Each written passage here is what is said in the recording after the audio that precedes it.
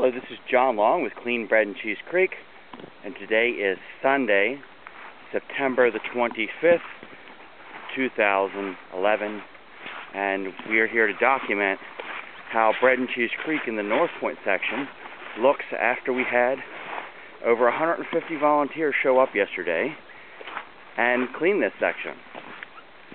I mean, already you could see how beautiful this is compared to before we had people show up from all over the place, not just the Dundalk area, to help with this cleanup. We had uh, several people from Constellation Energy come out. We had people from St. Timothy School come out. We had Towson University History Department, my alma mater, come out. Um, tons of community people from all sorts of different organizations came out. And the funny thing is, as we walk along, you can see how beautiful this little creek can be. I mean, it's it's it's really a hidden treasure. And places where you might see, as we walk along, huge holes in the ground, like this one right here, is where there was a shopping cart that was so deeply buried that, that you could barely even see the handle. That was removed, and I guess about it for an hour or more. I noticed that the Towson University uh, history guys were working on that one, and you know people really put their backs into it when they come out here. I don't I don't think that you know a lot of people, unless you've been out to one of our cleanups, realize how hard we actually work. Um, and it's all the volunteers. I mean, it's true you know, that we organize the event and we try and get, you know, make sure we have food and that we make sure that we have people, you know, are comfortable and we have tools and equipment for them to use. But none of that matters a hill of beans if you don't have the volunteers come out. I don't know if you guys can see this, but as we're walking along, there are lots of little tadpoles and pollywogs skittering about underneath the water. And that's always a wonderful sign. Tons of little fish when we first started these cleanups, you didn't see this very often. The more we continue with our cleanups of Bread and Cheese Creek, this just keeps coming more and more often. I, I should say more and more prolific. Um, once again, I mean, look at this. This is beautiful. I'm just taking a minute while we're to stop walking to just show you how incredible this is. I who would not want to preserve this? I mean, God, when I was a child, I remember playing in this stream, and and I know many of our volunteers have come out and related the same trails. You know, some of their happiest memories of a, as a child is, you know, sailing paper boats, you know, skipping stones, catching tadpoles for bait, um, just wonderful activities like that that every child should experience. And to have a neighborhood stream like this is just a resource, which to me is, you know, is incredible, and it's something we need to preserve, something we need to protect. And I'm so glad to see that so many other people feel the same way that I do.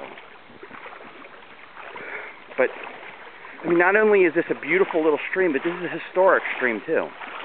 And during the War of 1812, both the British and the American troops camped along it. The Methodist Meeting House, which is what the British used as their headquarters, as well as what was used as a field hospital for both sides, was along the stream as well. Uh, and this is also the rallying point for the American troops before they launched their second attack against the British. I mean, it's part of our history. The War of 1812 was called the Second War of Independence, and it really is. Even though a lot of people unfortunately don't know as much about as they should. If we had lost the War of 1812, we would have been British subjects again. That's no doubt about that. And once again, I mean, look at how gorgeous this is. And I remember, you saw the videos I shot before, and huge amounts of trash. And it's gone. I mean, and the wonderful thing about this is, we know that all of the community especially those living along the stream, make sure it tries to make their best to make sure it doesn't come back. I mean, of course, we're going to get pollution that's going to flow in off the streams I should off the streets and the parking lots, which we're fighting against as well because the antiquated stormwater management laws around here allow for direct drainage from these impervious surfaces. And behind the shopping centers, a lot of time there's overflowing dumpsters because the companies don't want to pay for multiple pickups. And that's how trash gets in here as well. But I honestly believe and I honestly don't think that citizens are doing is the dumping. I mean, they may have at one time, but the mindset is changing. And everybody wants to preserve this little creek and save it and make it the beautiful thing it is and should be. Uh, we're coming up to North Point Road Bridge. See little raccoon tracks in the sand too. That's always a nice thing to see. Um, we're going to cross over Old North Point Road and get to the next section. This is, as you can see, is a very low-lying bridge, and I'm sure you've seen from my other videos that once again, due to antiquated stormwater management, this bridge floods out every time we get even a moderate rain. So we're going to quickly make our way across and get to the other side.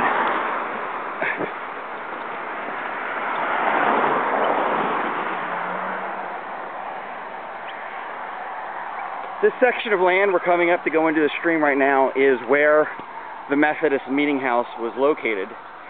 And this is where there's going to be a monument for it along the National Historic Trail. On the other side of the stream where we were is where there's going to be a monument dedicated to the rallying point for the American troops during the War of 1812. So, you can see how low the bridge sits above the water, which just makes things absolutely ridiculous whenever it rains too much. So back on with our tour of the cleanup area. Once again, look at this. Is this not beautiful?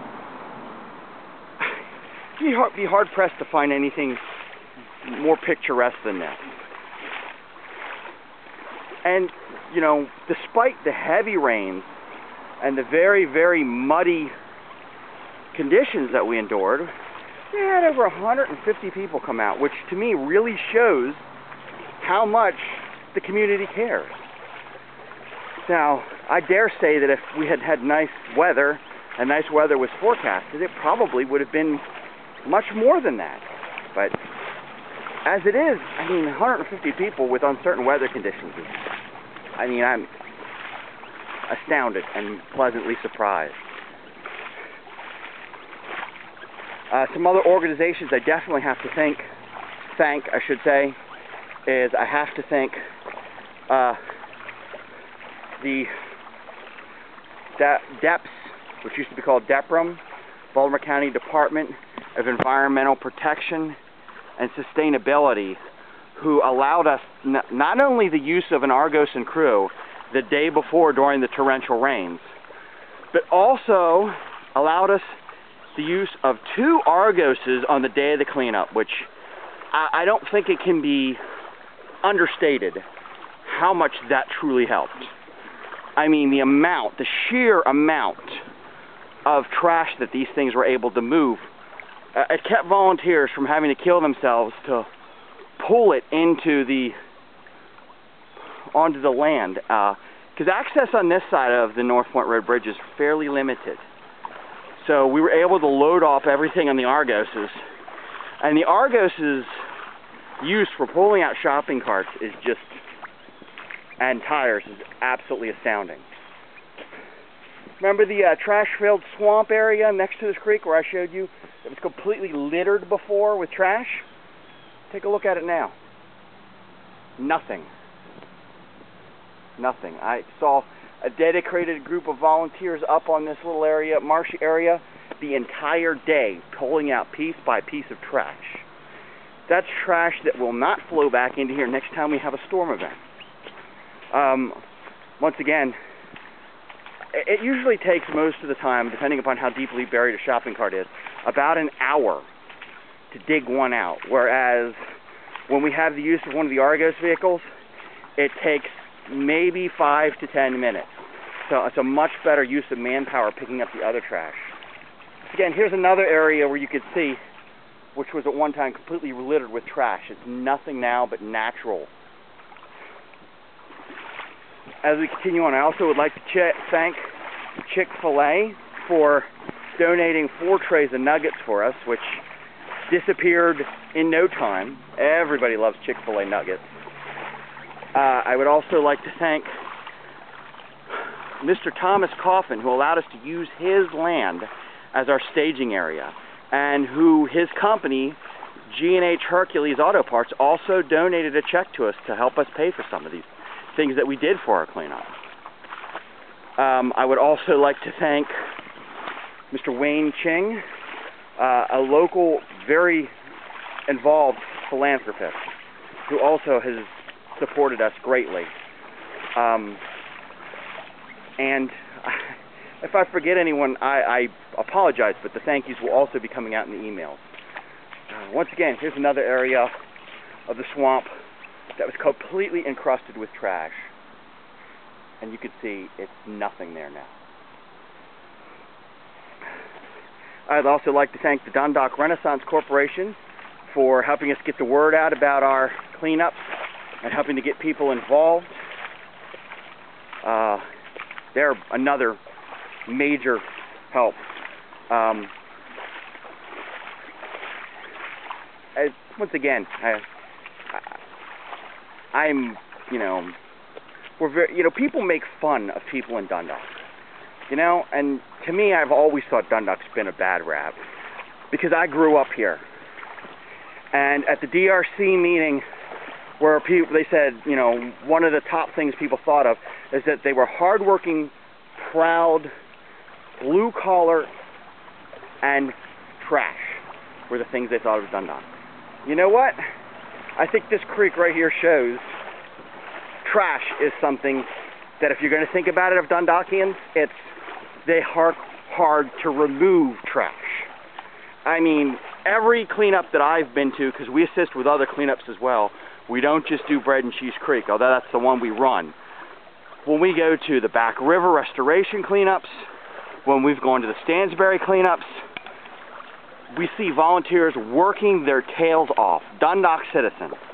So, if you're going to think Dundalk citizens and trash, I think I'd make it Dundalk citizens trying to get rid of trash, trying to clean the environment. I think that is much more appropriate.